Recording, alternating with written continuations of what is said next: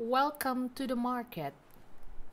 Food bazaars has become so popular here in Cebu City that we are looking right now at the same one, same concept as that Cebu Mercado. There is the different kinds of stalls that's displaying here. On my right, this is the Pinaculade. Pinaculade stand. They sell pineapple drinks. And this is the Vietnamese food. Vietnam foods. I'm showing you the their menus available. And this one who just opened is a shake corner. This is banana pancake trail from Southeast Asian style. This is cribs, which is actually Indonesian. And this is another shake place. This one, it's fruit combos, fruit and drink. This is yoso strippings, fish and rice combination, beef or chicken.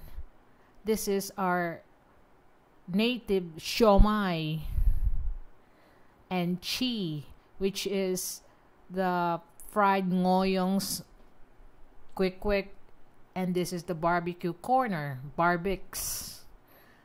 Chicken barbecue and the drinks corner all your beers are local beers and imported beers are available. This one is where the stage is where they have live music. And then again another barbecue which is featuring native chicken.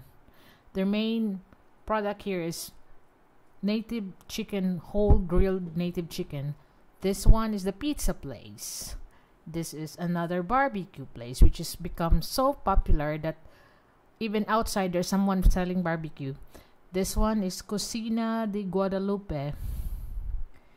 That's the ice cream place and I'm showing you a empty stand in which how they make it. It's only a 20 foot container divided into two and then they make into stand. This is how you're gonna rent this. And here is the ramen corner. They're selling Japanese noodles, different style.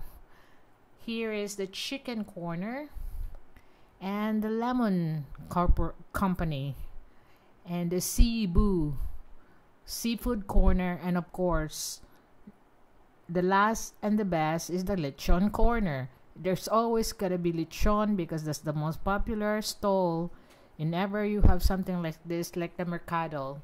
Then you have the desserts corner which is the halo halo Filipino style shavings and the champs. Here you eat your food, you just find an empty table in the middle.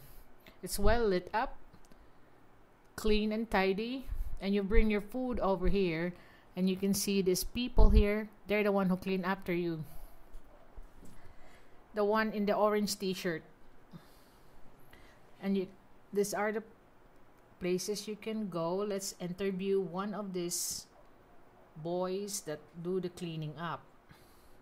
I'm asking him what time and what day this the market is open. He told me that it's only open from Tuesday to Sunday from 5 p.m. to 1 a.m. in the morning. So remember, it's not open on Monday.